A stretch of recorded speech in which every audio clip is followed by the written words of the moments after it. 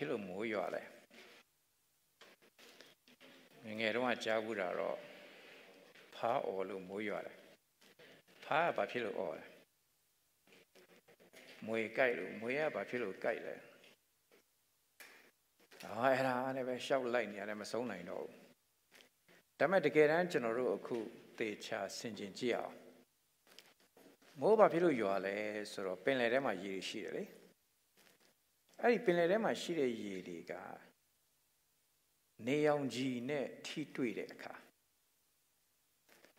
နော်အဲ့ဒီနေရောင်ခြည်နဲ့ထိတွေ့တဲ့အခါပင်လယ်ထဲကရေအားလုံးမဟုတ်ဘူးနော်ပင်လယ်ထဲကရေတချို့ကအပေါ်ကိုပြန်တက်သွားတယ်အပေါ်ကိုပြန်တက်တဲ့အခါမှာသူတို့ကအရေဖြစ်နေမဟုတ်ဘူးဘာနဲ့ဘာအဖြစ်နဲ့ပြန်တက်သွားလဲဆိုတော့အခိုးအငွေ့ဖြစ်နေ အဲ့ဒီမှာအခိုးအငွေ့ဖြစ်နေတက်သွားတဲ့အချိန်မှာပြောင်းသွားတာနှစ်ခုရှိတယ်တစ်ခုကအသွင်တံမတူတော့ဘူးနောက်တစ်ခုကပင်လေရေကဘာအရသာရှိလဲနော်အဲဟိုတချို့လည်းမှတ်မိကြလိမ့်မယ်ကျွန်တော်တို့ချက်ဆိုအရင်တော့ picnic ခဏခဏထွက်တယ်အခုတော့မထွက်ဖြစ်တာတော်တော်ကြာပြီဒီ covid ဆိုတဲ့ပုံကလည်းတော်တော်ဆိုးတာဟုတ်နော်ဆိုတော့ကျွန်တော်တို့ chess picnic တွေထွက်ဖြစ်တုန်းကနော်ကလေးလေးတယောက် အဲဒီကလေးလေးဆိုတော့အခုတော့တော်တော်ကြီးလာပြီနော်မွန်းမွန်းလေတခါတည်းအိုးရောက်ခါစဆိုတော့ပင်လေထဲလဲခုံဆင်းဝုန်းကနေဆင်းပြီးရတယ်ချက်ချင်းပြန်ပြစ်တက်လာပြီးတော့အမေအမေအမေတဲ့ထူးထူးဆန်းဆန်းလာပြောတယ်သူတို့ကလည်းရေထဲမှာစားတွေထည့်ထားတယ်တဲ့နော်ဆိုတော့ပင်လေရေကငန့်တယ်လေဒါပေမဲ့အဲ့ဒီနေရောင်ကြီးထိလို့တက်သွားတဲ့ အခိုးငွေ့အဖြစ်နဲ့တက်သွားတဲ့ရေမှာပုံစံပြောင်းသွားသလိုအဲ့ဒီစားအငန့်နေမပါလာတော့ဘူးအရသာလည်းပြောင်းသွားတယ်ပြီးတော့မှအပေါ်တက်ပြီးတော့အပေါ်မှာဘာဖြစ်သွားတယ်မိုးတိမ်ဖြစ်သွား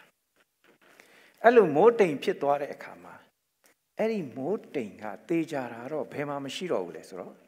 ပင်လယ်ထဲမှာမရှိတော့ ပင်လယ်ထဲမှာရှိနေတဲ့ရေတွေကတော့ပင်လယ်ရေစီးကြောင်းတိုင်းပဲဟိုဘက်ကမျောလိုက်ဒီဘက်ကမျောလိုက်သွားနေတဲ့အချိန်မှာမိုးတိမ်ကကြတော့အဲ့ဒီပင်လယ်ရေစီးကြောင်းထဲမှာ तू ကလိုက်မမျောတော့ဘူး तू ကဘယ်ရောက်သွားပြီလဲအပေါ်ရောက်သွားပြီအောစရာကောင်းတယ်နော်ရေဖြစ်နေပဲရှိနေရင်သူက စမ်းငံရေဖြစ်နေပဲရှိနေရင်သူအပေါ်မတက်နိုင်ဘူးဒါပေမဲ့ तू ဘယ်လိုလုပ်အပေါ်ကိုတက်သွားနိုင်တာလဲအငွေ့ဖြစ်နေအသွင်ပြောင်းသွားလို့အဲ့လိုအငွေ့ဖြစ်နေအသွင်ပြောင်းသွားတာဘာကြောင့်လဲနေရောင်ကြီးသူ့ပေါ်မှာကျလာလို့နေအောင်ကြီးကြလာဖို့အတွက်လည်းနေအောင်ကြီးငါ့ကိုလာထိုးပါလို့ခေါ်တာမဟုတ်ဘူးခေါ်ရကောင်းမှန်းတော့မသိပါဘူးအဲ့ဒီမှာနေအောင်ကြီးကကြတဲ့ခါကျတော့အဲ့ဒီအငွေရတဲပြီးတော့မိုးပေါ်တက်သွားတယ်ကဲ ကျွန်တော်အခုပြောနေတဲ့ဟာကိုသဘောပေါက်ကြသလားလောကသားတွေဟာပင်လေရေးပဲနော်သူများမိုးခါရီတောက်ရင်ကိုလည်းတောက်ရမယ်လောကကြီးကတက်မဲ့ခိုင်းရင်လိုက်တက်မဲ့ရမယ်လောကကြီးကစိတ်ဆိုးခိုင်းရင်လိုက်စိတ်ဆိုးရမယ်လောကကြီးကမကြင်မနှက်ဖြစ်ခိုင်းရင်မကြင်မနှက်ဖြစ်ရမယ် လောကကြီးကပျော်ခိုင်းရင်လိုက်ပျော်ရမယ်အဲ့ဒါလောကရည်စည်းကြောင်းမှာမျောတယ်လို့ခေါ်တယ်အေဖက်နှစ်မှာဖတ်ကြည့်နော်လောကရည်စည်းကြောင်းထဲမှာမျောနေတာအပြစ်မတင်ဘူးဘာဖြစ်လို့လဲ तू ကပင်လယ်ရည်ဖြစ်နေတဲ့အတွက်ကြောင့်ပင်လယ်ရည်စီးကြောင်းတိုင်းပဲ तू ကမျောနေမှာပဲထိုနည်းလူ၎င်းပဲလူကိုဘယ်သူကိုမှအပြစ်မတင်နဲ့တခါလေလူတွေကိုမကောင်းဘူးဆိုးလိုက်တာလောဘကြီးလိုက်တာဒေါသကြီးလိုက်တာ ကောက်ကျက်လိုက်တာလို့သွားအပြစ်မတင်နဲ့အဲ့ဒါဘာနဲ့တူတယ်လဲဆိုရင်ကပ်ပလီတယောက်ကိုနင်ကလည်းဟဲဘာလို့အသားမရတယ်လို့သွားအပြစ်တင်နေတာနဲ့အတူတူပဲငကိုကလေးကသူ့ဟာသူဒီလိုမဲပြီးသားဖြစ်တယ်အဲ့လိုပဲလောကသားကိုကအပြစ်ထဲမှာကျင့်လဲနေပြီးသားဖြစ်တယ်ဘာမှတော့အပြစ်တင်နေစရာအကြောင်းမရှိဘူးအေးအဲ့ဒီအဲ့ဒီဟာအပြစ်တင်တဲ့တရားကတရားဟောင်းလို့ခေါ်တယ်ပြန်ပြောပါအောင်အပြစ်တင်တဲ့တရားကဘာလဲတရားဟောင်း ကဲတင်တဲ့တရားကတရားသစ်ပြန်ပြောပါအောင်တရားသစ်ကဘာလို့တက်လဲကကဲတင်တယ်တရားဟောင်းကဘာလို့တက်လဲဟုတ်တယ်အဲ့ဒါကျွန်တော်တို့အခုဒီလစကလေးကနော်ဖတ်နေတာနော်ဒီလစကလေးကဖတ်နေတာသတိထားမိလားမသိဘူးနော်အခုကျွန်တော်တို့ဖတ်တဲ့အခါမှာ slide တွေကတော်တော်နဲ့မပြောင်းဘူးအဲ့ဒါဘာဖြစ်လို့လဲဆိုတော့အင်္ဂလိပ်လိုပါအောက်ကဖတ်တဲ့လူတွေပြီးအောင်ဖတ်နိုင်မှုနော်အဲကျွန်တော်တို့ slide လေးမလို့တခါမှကျွန်တော်တို့လွတ်သဘောအရ ဟာဒါဖတ်ပြီးပြီ slide ကအခုထိမပြောင်းသေးဘူးလားဆိုတဲ့ဟာလေးတော့မရှိတတ်ဘူးလားရှိတတ်ပါတယ်အဲ့ဒါတရားဟောင်းအပြစ်တင်တတ်တယ်နော်ဆိုတော့ဒါပေမဲ့တကယ်တော့မဟုတ်ဘူးအဲ့ဒီဟာလေးမပြောင်းသေးတာကငါဖတ်လို့ပြီးသွားပြီဆိုတော့တာဝန်ကျေတာမဟုတ်ဘူးဒါကိုငါတကယ်နားလေသလားလို့စဉ်းစားဖို့ဘုရားသခင်အချိန်ပေးတယ်လို့ကျွန်တော်တို့နားလေတတ်ဖို့ဖြစ်တယ်အဲ့တော့ကောင်းပြီမှတ်ထားပါ လောကထဲမှာကျင်လည်နေတဲ့လူကတော့မကောင်းမှုဆိုတာသိတယ်ဒါပေမဲ့အဲ့အဲ့ထက်နေယုံထွက်ဖို့ကြိုးစားရမယ်ပြောရယုံထွက်ဖို့ကြိုးစားခိုင်းနေယုံထွက်ဖို့ကြိုးစားနေတယ်အဲ့ဒါတရားဟောင်းအဲ့ဒီထဲမှာမှပင်လယ်ရဲ့ရေတချို့ကသူတို့ခုံနိုင်လို့မဟုတ်ဘူးနော်အလွန်ဆုံးပင်လယ်ကခုံနေဆိုရင်တော့လှိုင်းထတာလောက်ပဲရှိမှာဝုန်းဆိုတခါလည်းအမြင်တက်သွားပြီးရင်ဘာဖြစ်မလဲပြန်ချဒါပေမဲ့ခုနပြောတဲ့ နော်မိုးတိမ်ဖြစ်သွားတဲ့ပင်လယ်ရေတွေဟာသူတို့ကလုံးဝခုံတာမဟုတ်ဘူးနေရောင်ကြီးကသူတို့ကိုဆွဲတင်သွားတာဒီနေ့ညီကောင်မတို့ဗတိညင်တရားသစ်နဲ့ဆိုင်တဲ့ဧဝံဂေလိတရားကျေးဇူးတော်တရားသည်ဖရာသခင်ရဲ့ဘုန်းအတည်နဲ့ပြည့်စုံတဲ့ရောင်ကြီးဖြစ်တယ်ဒါမဲ့တဲ့ဒီလောကရဲ့ဖရာကတဲ့အဲ့ဒါကိုမမြင်အောင်ဖုံးတယ်တဲ့တော်တော်များများအောင်းစရာကောင်းတယ် ဒါလောက်မမြင်နိုင်အောင်ဖုံးခြင်းခံရတာတော်တော်စိတ်မကောင်းစရာဖြစ်တယ်။ဒါပေမဲ့တကယ်မြင်သွားရင်တော့ဧဝံဂေလိတရားဆိုတာတကယ်သိသွားရင်လုံးဝမနေနိုင်ဘူးအသက်တာတကယ်ပြောင်းသွားတာအဲ့လိုပြောင်းသွားတာကိုလုံးဝလှုပ်တာမဟုတ်ဘူး။ပြုတ်လှုပ်ခြင်းခံလိုက်ရတာအဲ့တော့ကျမ်းစာပြောတယ်တရားဟောင်းကအသက်ကိုတတ်တတ်တယ်တဲ့အပြစ်ရှိရင်အလုံးသိတယ်အပြစ်တရားဤခကတေခြင်းပေ ဒီဆိုတော့တတ်ဒါပေမဲ့တရားတစ်ကကြတော့ဝိညာဉ်တော်တရားတဲ့အဲ့ဒါကြတော့အသက်ရှင်စေတာအသက်ရှင်အောင်လုပ်ပေးတာလို့ပြောပါတယ်အဲ့တော့အခုကြည့်မိုးတိမ်တက်သွားပြီပုံစံလည်းပြောင်းသွားပြီအရသာလည်းပြောင်းသွားပြီမိုးတိမ်ဖြစ်သွားပြီကဲကျွန်တော်ဆွေးနွေးရအောင်သူကပင်လည်းရေစီးကြောင်းတိုင်းမသွားတော့ဘူးအဲ့တော့မိုးတိမ်ကဒီတိုင်းတော့ရမနေဘူးသူလည်းသွားတယ်သူဘာနဲ့သွားလဲ ရေစီးကြောင်းနဲ့မသွားတော့ဘူးသူဘာနဲ့သွားလဲလေစီးကြောင်းနဲ့သွားတယ်အောက်မှာရှိနေတဲ့ပင်လယ်ရေကြတော့လေလေတိုက်ရင်သူကနည်းနည်းပဲလှုပ်တာ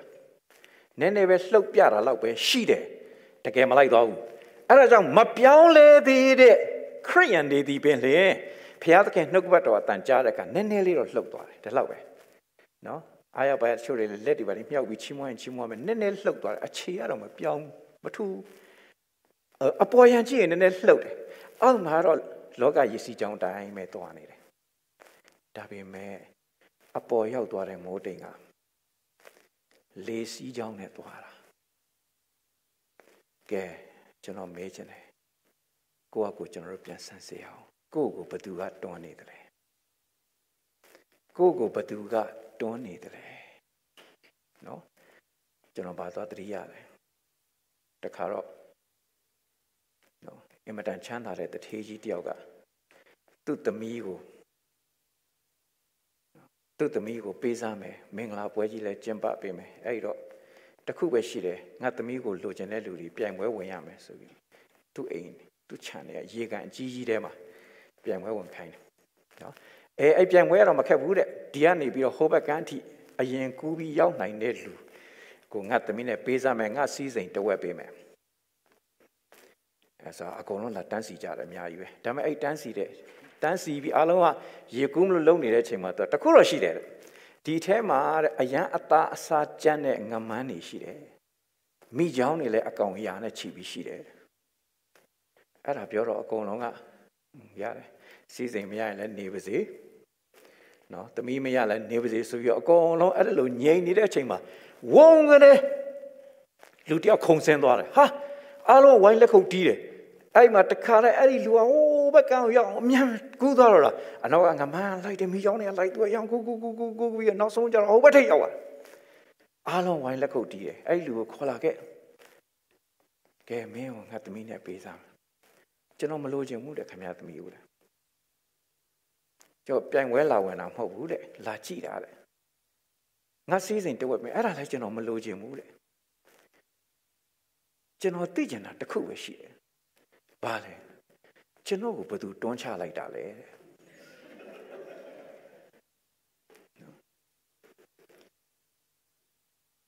ဆိုတော့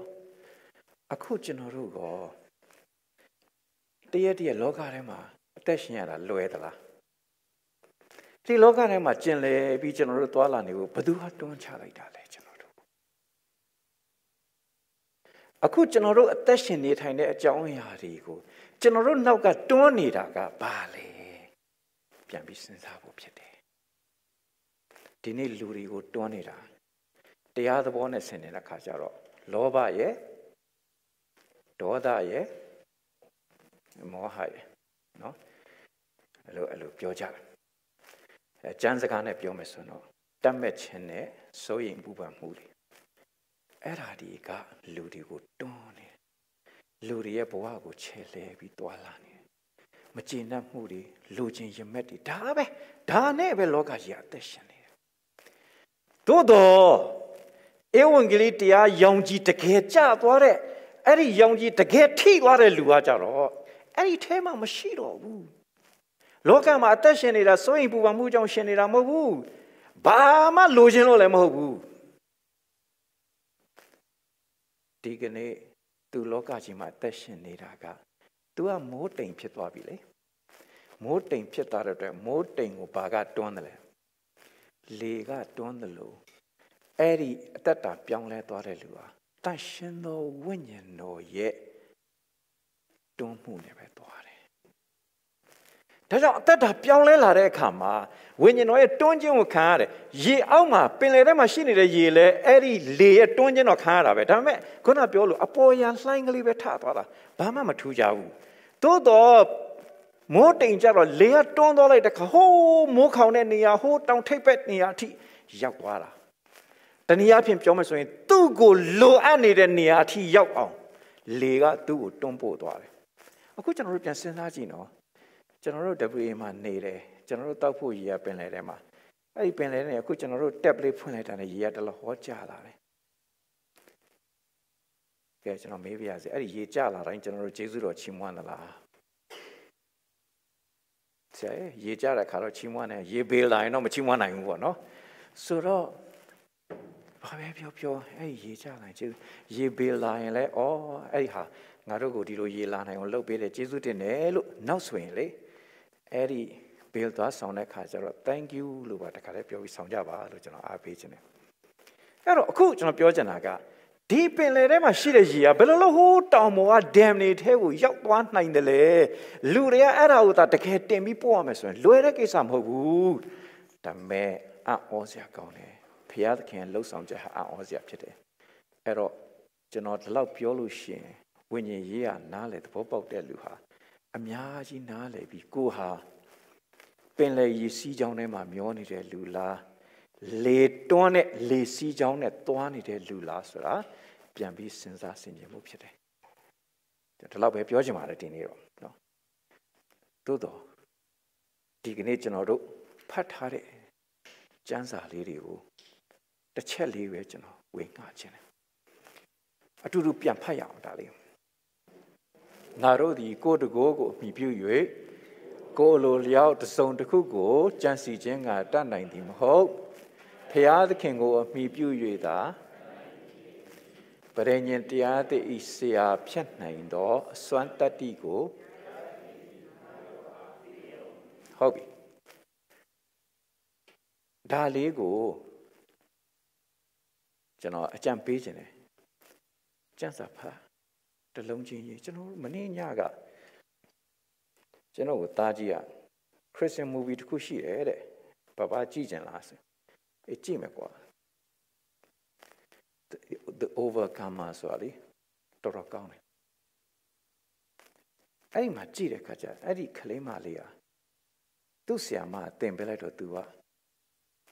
ကျမ်းစာဖတ်ရင်းနဲ့အဲ့ကျမ်းစာတွေကတလုံးချင်းကို စာရွက်ပေါ်မှာ तू ရေးချရေးချရေးချရေးချရင်းနဲ့အဲ့ဒီကလေးမအမေသေးသွားတဲ့အဖေကသူ့ကိုစွန့်ပစ်ခဲ့တယ်သူ့ကိုသူ unwanted unloved လို့ခံစားထားရကနေသူ့စိတ်ထဲမှာဖះကိုဖြစ်ဖြစ်အဖေကိုဖြစ်ဖြစ်မကြင်မနှက်ဖြစ်နေတဲ့အရာတွေအားလုံးဟာကြံစကားလေးတွေတစ်လုံးစီတစ်လုံးစီရေးချရင်နဲ့သူ့ရဲ့အသက်တာမိုးတိမ်လိုပဲတခါတည်းပင့်တင်ခြင်းခံရပြောင်းလဲသွားတဲ့ဟာလေးကိုရိုက်ထားတာအော်စရာကောင်းပါတယ်အဲ့တော့အခုကျွန်တော်တို့ဘဝမှာလည်းပဲတ ရက်တရက်လောကကြီးရဲ့ဖိနှိပ်ချုပ်ချယ်မှုကိုမခံကြပါနဲ့ဖျားသခင်နှုတ်ကပတ်တော်စကားလုံးလေးတွေကိုတစ်လုံးစီတစ်လုံးစီဆင်ခြင်တဲ့အခါကျွန်တော်တို့ရဲ့အသက်တာရင်ပင့်တင်ခြင်းကိုခံရမှာဖြစ်တယ်လို့ဒါလေးပြောချင်တယ်အဲ့တော့အဲ့ဒီဟာလေးကိုကျွန်တော်တစ်လုံးစီခွဲပြီးတော့ပြန်ပြီးတော့ဆင်ခြင်ဖို့အတွက်ဒီနေ့အနေငယ်ဝင်ခါရှင်တာပါငါတို့ဒီကိုယ့်တကိုယ်ကိုအမိပြုပြီးကိုယ့်အလိုလျောက်တစ်စုံတစ်ခုကိုကြံစီခြင်းငါတတ်နိုင်သည်မဟုတ်လှုပ်ဖို့မပြောနဲ့တော့တဲ့အကြံတော်ငါတို့မှမရှိနိုင်ဘူး တကယ်လှုပ်တာမပြောနဲ့ဘာလှုပ်လို့လှုပ်ရမှန်းတော့ငါတို့မသိဘူးဘယ်လိုလှုပ်ရမလဲဆိုတော့လည်းငါတို့မသိဘူးเนาะဆိုတော့အင်္ဂလိပ်လိုပဲကြတော့ဘာပြောလဲ I don't mean that we are able to do anything good ourselves ဆိုတော့ဘာမှမလုပ်နိုင်ကျွန်တော်ဂျပန်မှာရောက်တော့ကျွန်တော်တို့ဘာမှမလုပ်နိုင်တဲ့အကြောင်းကိုတရားဟောတဲ့အခါဟောလဲပြီးရော အမျိုးသမီးလေးကတော့ယုံကြည်သူအမျိုးသားကမယုံကြည်သူဆိုတော့သူ့အမျိုးသားလည်းတည်င်းစကားကြောက်အောင်ဆိုသူခင်ဗျခေါ်လာရှာအဲသူ့အမျိုးသားကအရာရှိကြီးတယောက်ဖြစ်တယ်ဝင်ငွေလက်ကောင်းတယ်အဲ့ဒါပြီးလဲပြီးရောဆရာနဲ့နေမေးချင်တာရှိရင်မေးလေဆွေးနွေးစီခေါ်တော့အဲ့ဒီအမျိုးသားကျွန်တော်ပါလာပြောဆိုဆရာပြောတော့ကျွန်တော်နားထောင်ရင်းနားထောင်ရင်းနေတဲ့အာအဲ့ဒီလူလူကိုဘာမှမလုပ်နိုင်ဘူးဆိုတာကိုဆရာပြောရင် လူတွေကဘယ်တိုးတက်တော့မလဲအထူးသဖြင့်ကျွန်တော်တို့ဗမာပြည်မှာဆိုရင်ဗမာပြည်ကလူတွေကမတိုးတက်ရတဲ့ဂျားထဲမှာအဲ့လိုကိုကဘာမှမလုပ်နိုင်ဘူးဆိုတာကိုသာပြောနေမယ်ဆိုရင်ဘယ်တော့မှတိုးတက်မှာမဟုတ်ဘူးတဲ့ကျွန်တော်ကတော့အဲ့ဒါလက်မခံနိုင်ဘူးလို့ပြောသွားတယ်ဘယ်လိုသဘောရကြတယ်ဒါနဲ့ကျွန်တော်သူ့ကိုပြန်ရှင်းပြတယ် လူတွေလုံနိုင်တဲ့အရာအများကြီးရှိပါတယ်လုံလဲလုံပြနေကြပါတယ်နော်အခု performance တွေပါတယ်ဆိုရင်လည်းဟိုတခါလဲခွန်းနာပဲနော် Facebook မှာတခုတွေ့လိုက်တယ်တခါလဲဟိုကလမလေးတယောက်ကကောက်ကွေးပြီးတော့လူလားပင့်ကူလားတောင်မှဟိုခွဲကြခက်လောက်အောင်တခါတည်းခုံပေါက်ပြီးလှုပ်ပြတချင်းဆူတာတွေအရန်တော်တယ်ဟိုတချို့လည်းဓာကြီးတွေမျိုးပြလူတွေလက်ခုပ်တီးပြီးတော့လည်းပြီးသွားတာပဲလူတွေလုံနိုင်တဲ့အရာတွေအများကြီးရှိတယ် ဒါပေမဲ့ကဘာကူလာတမက်ကဆိုတဲ့ယုံကြည်ထောင်တယ်ပြဿနာတွေကပုံများလာတယ်စေဝါတွေသူတေသနာတွေအများကြီးလုပ်တယ်ယောဂါတွေကပုံများလာတယ်အခုကျွန်တော်တို့အသက်သိပြီလားယောဂါအဲ monkey box နော်ခုံပေါက်ဖို့သာပြင်ဆင်ထားပြီတော့ဗောနော် monkey box ပြန်ပြန်ကျွန်တော်တို့အဖြေတွေရှာလေလေမေခွန်းတွေကပုံများလာလေလေအဲ့တော့ဖရာသခင်က နင်တို့တကယ်တော့ဘာမှမလုပ်နိုင်ဘူးနော်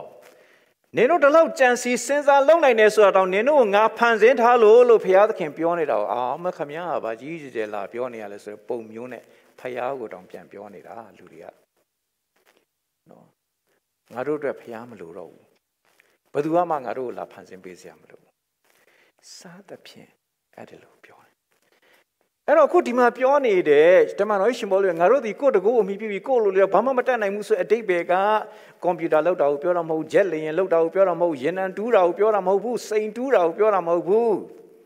အဲ့ဒါဘာကိုပြောတာလဲဖယားသခင်အလိုတော်ရှိတဲ့အသက်တာကိုအသက်ရှင်ဖို့အတွက်ပြောတာ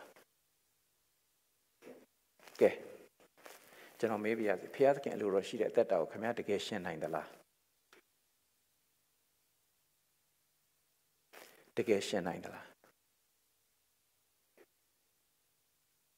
ဆရာ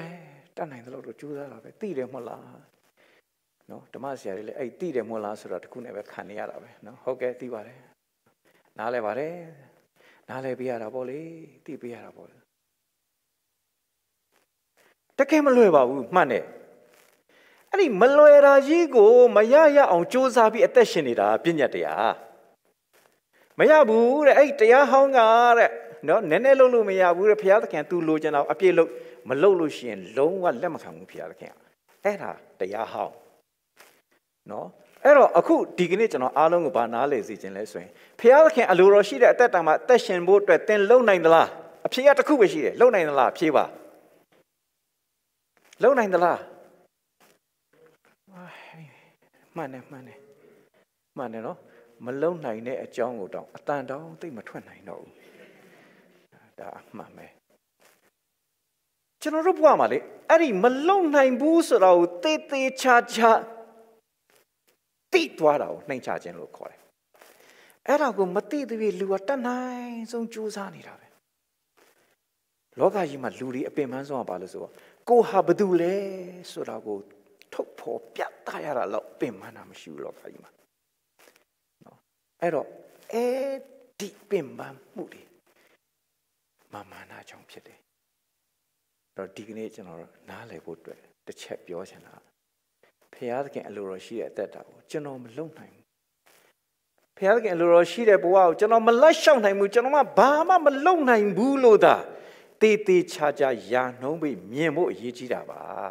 အဲ့ဒါနှိမ့်ချခြင်းခေါ်တယ်နော် ဒါမဲ့လူကမလျှော့ခြင်းဘူးအခုတော့မလုံနိုင်တယ်နောင်ကြရင်လုံမှာပေါ့ဆိုတဲ့ဟာရှိသေးတယ်တေပဲတေတော့မယ်ဘယ်တော့လုံမလဲမသိဘူးနော်ဒါမဲ့ကျွန်တော်တို့အခုပြန်စဉ်းစားဖို့ရန်ကကျွန်တော်တို့လုံးဝမလုံနိုင်ပါဘူးတက်တည်နေတဲ့ကြောညာနေတာပါကျွန်တော်တို့တကယ်တမ်းကြတော့ဘုရားသခင်အလိုတော်လို့ပြောပြီးကိုယ့်အလိုပဲလိုက်ပြီးအသက်ရှင်နေတာနော်ဝိညာဉ်လေးစီးကြောင်းနဲ့မသွားဘဲနဲ့လောကရည်စီးကြောင်းတိုင်းပဲသွားပြီးတော့ အဲ့အဲ့အလုတ်ရှုပ်တဲ့မအားတဲ့ကြားရကနေခဏခဏအပေါ်မှာဟိုလဲနည်းနည်းလှိုင်းလေးလှိုင်းချက်ခွလေးလှုပ်ပြနေရတာတော့ပဲရှိနေတယ်လို့ကိုကိုကိုကျွန်တော်တို့နားလည်ဖို့အရေးကြီးတယ်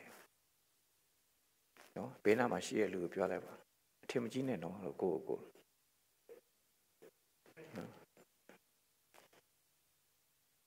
အဲ့ဒီအဲ့ဒီထက်ပိုရေးကြည့်တာနဲ့ငါ့ကိုလည်းအထင်မကြီးနဲ့တော့လို့တခါလည်းပြောနော်အဲ့ဒါဆိုပြီးပြီနော် နင်းနင်းဘာကောင်အောင်းမေးလို့လဲ तू ကဘာကောင်မဟုတ်လဲဆိုတဲ့ဟာရှိစရာအကြောင်းမရှိတော့ဘူးဟုတ်ပြီပြန်ဖတ်ပါအောင်ဒါလေးမဆုံးခင်ငါတို့ဒီကိုယ့်တကိုယ်ကိုမြည်ပြ၍ကိုယ့်အလိုလျောက်ဟုတ်ပြီအဲ့တော့မှနောက်တစ်ချောင်းကဆက်လာတတ်နိုင်သည်မဟုတ်ဆိုကြတော့တချို့ကြတော့ဘယ်မှာနေလိုက်ပြန်လဲဆိုအေးဟုတ်တယ်ငါဘာမှမလုပ်နိုင်ဘူး ငါဘာမှမလုပ်နိုင်ဘူးဆိုတဲ့နေရာမှာနေပြီးတော့တကယ်လည်းဘာမှလည်းမလုပ်တော့ဘူးနော်ကဲဒီနေ့ရွေးကောက်ပွဲရှိတယ်အဲအတင်းတော့ MC လောက်ပါလားမယုံရင်ကိုလျံကင်းကိုလှမ်းမေးကြည့်ပါလားအတင်းတော့ MC လောက်ပါလားနော်ကိုထန်းစိန်လှည့်မေးကြည့်စမ်းမအောင်လောက်ပါလား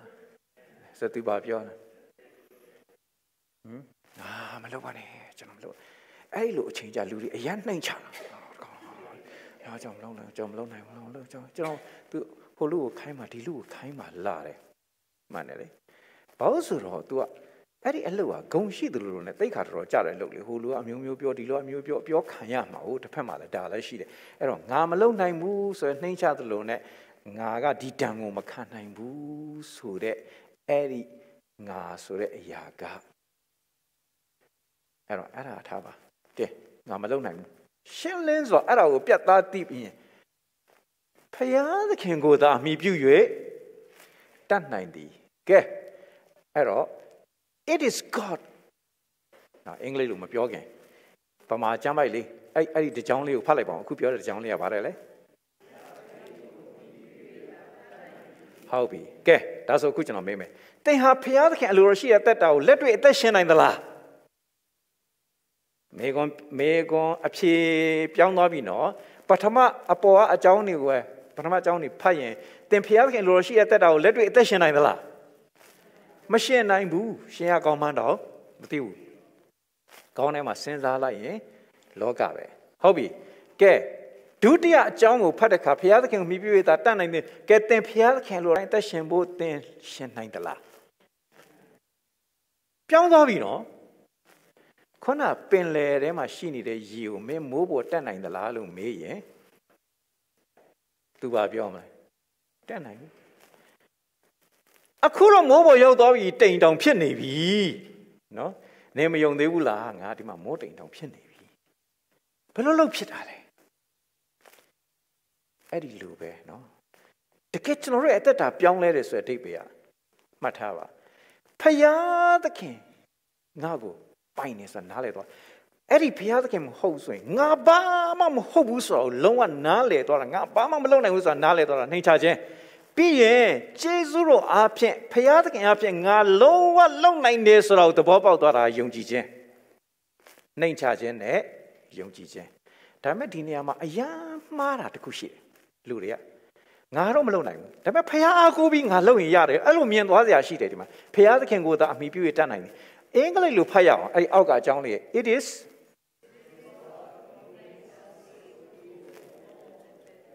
ကဲအာ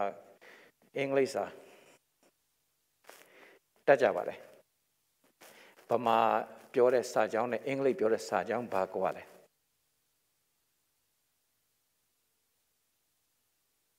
အတူတူပဲလားမတူဘူးဘယ်တူမလဲဟိုကဗမာလိုအောက်က အင်္ဂလိပ်လိုမတူဘူး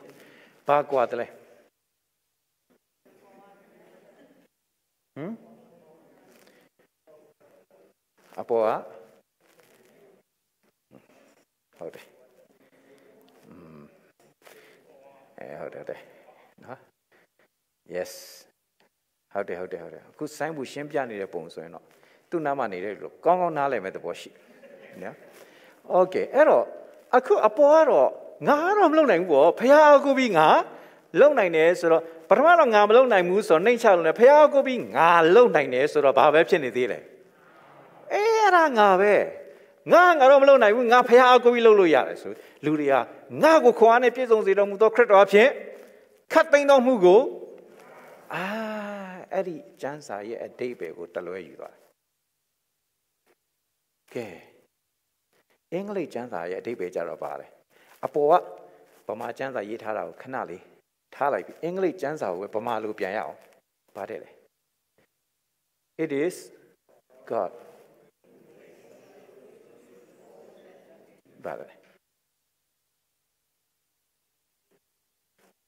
ဟမ် It is God who makes us ပါလေနော် ဒါတော့မှအဲ့ဒီ us ကိုတွားပြီးတော့အရန်အထူးပြုတ်နေဖို့မဟုတ်ဘူး who makes ဘယ်သူလောက်တာလဲအေးခုနပြောတဲ့ဟောမိုးပေါ်မှာပြန်နေတဲ့မိုးတိမ်ပင်လယ်ထဲကနေအပေါ်တက်လာအောင်ဘယ်သူလုပ်တယ်လဲအဲ့ဒီလိုပဲဖယားသခင်လုပ်တယ်ငါလေးဖယားသခင်အလိုတော်တိုင်းသက်ရှင်လာအောင်ခွင့်မလွတ်နိုင်တဲ့လူကိုငါခွင့်လွတ်နိုင်လာအောင်နော်အရာရာမှာကျေးဇူးတော်ချီးမွမ်းနိုင်လာအောင် အစဉ်အမြဲဝမ်းမြောက်နိုင်အောင် သူများကိုမေတ္တာနဲ့အသက်ရှင်နိုင်အောင် ပြက်ပြက်သားသားလောကညဉ့်ညူးခြင်းတွေမှာမနစ်မောအောင်အဲ့ဒီလိုဖះအလိုတော်တိုင်းအသက်ရှင်နိုင်အောင်ဖះသခင်ငါ့ကိုလှုပ်ပေးတာမတူဘူးနော်ဒါကြောင့်မလို့ကျွန်တော်တို့ဒီမှာအကြီးအကျယ်ကြော်ညာနေတာကျေးဇူးတော်တရားဆိုတာဘုရားသခင်လှုပ်ဆောင်ချက်ကိုပြောနေတာပါကဲဆက်ကြည့်မယ် နော်ဒီတစ်ချက်လေးပါပဲဒီတစ်ချက်လေးကိုနားလည်ဖို့ပါပဲဆက်ကြည့်မယ်ဗါတယ်လေပဋိညာဉ်တရားသိဤဆရာဖြစ်နိုင်သောအစွမ်းတတ္တိကိုဘုရားသခင်သည်ငါတို့အားကဲအင်္ဂလိပ်လိုဖတ်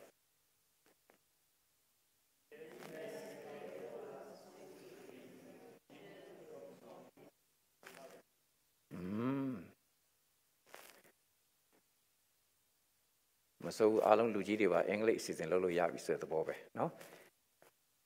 He has enabled us to be minister to be ကျွန်တော်အဲ့စကားလုံးလေးတွေကိုသိကြိုက်တယ် to be နော်ကျွန်တော်တို့ဘာလုပ်တယ်လဲဆိုတာထဲကျွန်တော်တို့ဘယ်သူဖြစ်တယ်လဲဆိုတာသိအရေးကြီးတယ် to be ministers minister ဆိုတာဝန်ကြီးကိုပြောတာမဟုတ်ဘူး minister ဆိုတာဓမ္မအမှုတော်ဆောင်ကြီးများကိုဆိုလိုတာမဟုတ်ဘူး minister ဆိုတာအစီခံပါနော် minister ဆိုတာအစီခံပါဆိုတော့ဒီမှာ he has enabled us to be ministers ဒီစကားလေ minister ဆိုတာအစီခံအစီခံဖြစ်အောင်လူတယောက်ဟာဘုရားသခင်ရဲ့အစီတော်ကိုမခံသေးဘူးဆိုတဲ့အတိတ်ပဲဘာကြောင့်လဲနော်ငါဘာမှမလုပ်နိုင်ဘူးဆိုတာကိုတည်တည်ချာချာမနှိမ့်ချသေးလို့လား ဖခင်သခင်ငါ့ကိုဖြစ်အောင်လှုပ်ထားပေးတယ်ဆိုတော့ကိုမယုံသေးလို့လားအဲ့ဒါအဲ့ဒါနှိမ့်ချခြင်းနဲ့ယုံကြည်ခြင်းနှစ်ခုပေါင်းတဲ့အခါပရိညင်တရားတည်ရဲ့ဆရာဖြစ်လာတယ်ဒါပါပဲအဲ့တော့ကျွန်တော်တို့ကနှိမ့်ချသလားဆိုတော့မနှိမ့်ချဘူးဒါပေမဲ့နှိမ့်ချဟန်ဆောင်ပြီးတော့ကိုယ့်ကိုယ်သိငယ်နေတယ်ယုံကြည်သလားဆိုတော့လေတကယ်မယုံကြည်ဘူးအဲ့လိုဖြစ်နေတာကိုလည်းအပြစ်မတင်ပါဘူးအဲ့လိုပဲတစ်သက်လုံးဖြစ်မဲ့လူကလည်းဖြစ်သွားမှာပါ ကိစ္စမရှိပါဘူးအပြစ်မတင်ပါဘူးဒါပေမဲ့တကယ်တကယ်ဧဝံဂေလိတရားရဲ့ရောင်ကြီးကိုသာထိသွားရင်အခုကျွန်တော်စိတ်နှလုံးထဲမှာရှိနေတဲ့ຢာတာပါပဲဒီကနေ့ခရစ်တော်ရဲ့ကျေးဇူးတော်တရားဧဝံဂေလိတရားတကယ်ထိသွားဖို့ပဲအရေးကြီးတာပါထိရင်တော့တက်သွားမှာပါနော်ဟုတ်ပြီအဲ့တော့ enable us to be minister of his new covenant ပဋိညာဉ်တရားတည့်ရဲ့ဆရာဖြစ်နိုင်တော့ကဲညီကုန်းချုပ်မယ်ပြန်မေးပါမယ်ဘာရဲ့ဆရာလဲပဋိညာဉ်တရားတည့်ရဲ့ဆရာဆိုတာဗမာစကားနဲ့ဒီတိုင်းကြည့်လိုက်လို့ရှင်တော့ပဋိညာဉ်တရားတစ်ကိုတော့မှ तू ကသွားသင်ပေးနေတဲ့ဆရာဆိုတဲ့ပုံမျိုးဖြစ်သွားတယ်ဒါပေမဲ့အဲ့ဒါမဟုတ်ဘူးပဋိညာဉ်တရားတစ်နဲ့ဆိုင်တဲ့ဆရာဒါဆိုသူ့ကိုဘယ်သူကတွန်းနေလဲပရိညင်တရားတက်ကတွန်းနေတယ်သူဘာခံယူယုံကြည်ထားလဲ ပရိညင်တရားတက်သူဘာစကားပြောလဲပရိညင်သူဘာအလုပ်လုပ်လဲဒီတရားတက်အဲ့ဒါကဲအဲ့တော့အခုကျွန်တော်ချုပ်တော့မယ်ပရိညင်တရားတက်ရဲ့ဆရာဆိုတော့အခုကျွန်တော်တို့ဒီမှာဆရာလို့ပြောလိုက်ရင်ဆရာကျုံးနဲ့ဆရာဇဝင်းဆိုပြီးတော့အဲ့ဒီမှာပဲရပ်တန့်သွားမယ်မဟုတ်ဘူးအခုထိုင်နေတဲ့အားလုံးကဆရာမလုပ်ချင်လဲထားလိုက် နော်ဆရာမလုပ်ချင်လဲထားလိုက်အိမ်ရှင်မတွေကျေးဇူးပြုပြီးအိမ်ရှင်မတွေလက်ထောင်ပါအောင်အိမ်ရှင်မတွေနော်အာအိမ်ရှင်မတွေဆရာကျောင်းလက်ထောင်တယ်နော်သူကအဲဟုတ်တယ်အေးကျွန်တော်မေးပြရစီပရိညင်တရားဟောင်းအိမ်ရှင်မလားပရိညင်တရားသစ်အိမ်ရှင်မလား ဗရညင်တရားဟောင်းအိမ်ရှင်မဆိုရင်တော့တစ်ချိန်လုံးပါလုပ်နေမလဲသူ့လို့သူ့လို့နေမယ်ပြောချင်တာပါနော်ဟောလို့ထားလိုက်နော်ဗဒိညင်တရားတင့်တဲ့ဆိုင်တဲ့အိမ်ရှင်မကဲအိမ်တော်ဦးစီးတွေမင်းဗဒိညင်တရားဟောင်းတဲ့ဆိုင်တဲ့အိမ်တော်ဦးစီးလားဗဒိညင်တရားတင့်တဲ့ဆိုင်တဲ့အိမ်တော်ဦးစီးလားကောင်းတာတော့ဘယ်သူမှမကောင်းဘူးတတ်နိုင်သလောက်အကောင်းဆုံးဖြစ်အောင်ကြိုးစားနေတာဗဒိညင်တရားဟောင်း ဒါပေမဲ့ကိုကြိုးစားတာမဟုတ်ဘဲနဲ့ငါဘာမှမလုပ်နိုင်ဘူးဆိုတော့လုံးဝနားလေသဘောပေါက်သွားလို့နော်ကျွန်တော်တောင်းနေအားရလာတယ်ကိုယ့်ကိုလုံးဝတွေပါဖြစ်ကုန်တယ်နော်လုံးဝနားလေသဘောပေါက်သွားလို့နော်တခါတည်းဖရာသခင်ရဲ့ဝိညာဉ်တော်ကတုတ်ထီပြုတ်ပြင်လိုက်လို့ဗဒိညင်တရားတည့်ရဲ့ဖခင်ပရိညင်တရားတည်းရဲ့ဖခင်ဖြစ်ရင်သားသမီးတွေကိုပရိညင်တရားတည်းနဲ့တွင်တင်လိုက်မယ် နော်ပရိညင်တရားတည်းရဲ့အလုသမားတွေပရိညင်တရားတည်းရဲ့ចောင်းသားတွေဥပမာတစ်ခုပြောမယ်ကျမ်းစာထဲမှာစီးပွားရေးသမားတယောက်ပြောပါဆိုဘယ်သူကိုပြောမလဲဓမ္မဆရာမဟုတ်ဘူးယောက်ျားလည်းမဟုတ်ဘူးအမျိုးသမီးစီးပွားရေးသမားဘယ်သူလဲအာလူဒီอืมနော် လူဒီဘာစီးပွားရေးလုပ်လဲအဲနေမောင်းနဲ့အထည်အလိတ်ရောင်းတာတထေးတွေဝတ်တဲ့ဟာတွေပေါ့နော်တခါတကယ်ကောင်းတဲ့ကလကာကြီးတွေအဲ့ဒီအထည်အလိတ်ရောင်းတဲ့စီးပွားရေးသမားဖြစ်တယ်ကဲသူဟာစီးပွားရေးသမားပါပဲဒါပေမဲ့ဗဒိညင်တရားဟောင်းနဲ့ဆိုင်တဲ့စီးပွားရေးသမားလားဗဒိညင်တရားသစ်နဲ့ဆိုင်တဲ့စီးပွားရေးသမားလားအရင်ကတော့သူကဗဒိညင်တရားဟောင်းနဲ့ပဲဆိုင်တာပါဥပုပ်နေတိုင်းသူကမြ စီးပွားရေးလုပ်ရင်ကနေပြီးဥပုပ်နေတိုင်းတော်တော်ဆူတောင်းနေတော့ဖះအားကိုပြီးသူစီးပွားရေးအောင်မြင်ဖို့လဲဖះအားကိုခဲ့တာပါပဲဒါပေမဲ့တနေ့မှာအဲ့ဒီပထနာဇေယမှာသူနဲ့တခြားအဖော်တွေတွားပြီးဆူတောင်းနေတဲ့အချိန်မှာရှင်ပေါလုရောက်လာပြီးတော့သူ့ကိုဧဝံဂေလိတရားပြောတဲ့အချိန်မှာဘာဖြစ်သွားလဲပြောင်းလဲတယ်အဲ့ဒီပြောင်းလဲတဲ့ချိန်မှာသုံးတဲ့စကားလုံးကျွန်တော်တို့ကလိုက်ဆိုပါဘောလူဟောပြောသောအရာကိုမိဝဲစိကတ်စေခြင်းက သူဤစိတ်နှလုံးကိုသခင်ဖျားသည်ဖွင့်တော်မူတယ်သခင်ဖျားဘာလုပ်ပေးလိုက်လဲအဲ့ဒီမှာထိသွားတော့လားအဲ့ဒီမှာလည်းထိသွားရောသူ့အသက်တာပြောင်းသွားတယ်ဒါပေမဲ့စီးပွားရေးတော့ဆက်လုပ်နေတာပါပဲသို့တော့သူဟာပဋိညာဉ်တရားတက်နဲ့ဆိုင်တဲ့စီးပွားရေးသမားဖြစ်သွားတယ်သူလှုပ်တဲ့စီးပွားအားလုံးကဘုရားဘုန်းတော်ထင်ရှားဖို့ဖြစ်သွားတယ်ဒီနေ့ညီကောင်မတော် ကျေးဇူးတင်တယ်ကျွန်တော်အားလုံးမတက်ရရအောင်နော် music ဖွဲ့လည်းနေရာယူလို့ရပါပြီကျွန်တော်အားလုံးမတက်ရရအောင် music သမားတွေကိုကျွန်တော်တို့စောင့်နေရတဲ့ပေါ့နော် who you say i am သူတို့စောင့်ရင်လည်းကျွန်တော်တို့ကြမ်းပိုက်လိုက်ဆိုပြပါမိုးတိမ်တို့အထက်မှာ တရားမိုးကိုရွာကြလောနော်ဒီကနေ့မိုးတိမ်ဆိုတာတကယ်အသက်တာပြောင်းလဲသွားတဲ့သူနော်ဟေရှာယမှာပြောထားတာဖြစ်ပါတယ်သက်တာတကယ်ပြောင်းလဲရွေးနှုတ်ခြင်းခံရတဲ့သူတွေရဲ့သက်တာဝิญဉ်လေးစီးကြောင်းထဲမှာသွားနေတဲ့သူတွေဟာနော်အထက်ကနေပြီးတော့မှတရားမိုးကိုရွာသွန်းမှာဖြစ်ပါတယ်လို့နော်အခုကျွန်တော်တို့ဒီ music ministry ကြည့်လိုက်ရင်မိုးတိမ်နော်အာအခုပို့ပို့ လေးပဲเนาะသူ့ကိုကြည့်လိုက်ခဲ့မိုးတိမ်လုံးလေးလို့ဆိုတော့အခုကျွန်တော်တို့စင်မောပဲကလည်းဒီမိုးတိမ်လေးတွေဖြစ်လာတယ်အဲ့နေပြီးတော့တမိုးကိုရွာကြမယ်ဆိုတဲ့အတိတ်ပဲဖြစ်တယ်เนาะတက်တာတွေကိုဘုရားသခင်ဝိညာဉ်တော်ကဆက်ပြီးတော့ခြေပင့်ပြီးတော့မှဆက်လက်ပို့ဆောင်သွားမယ်ဆိုတော့ယုံကြည်ခြင်းနဲ့ဒီသခြင်းနဲ့ကျွန်တော်တို့ဆွတောင်းဆက်ကကြရအောင်